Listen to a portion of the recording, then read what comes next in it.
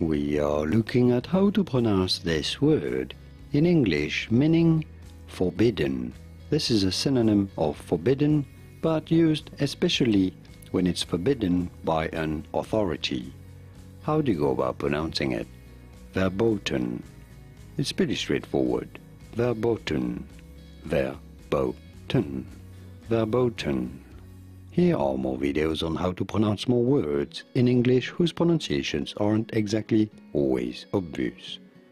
I'll see you there to learn more.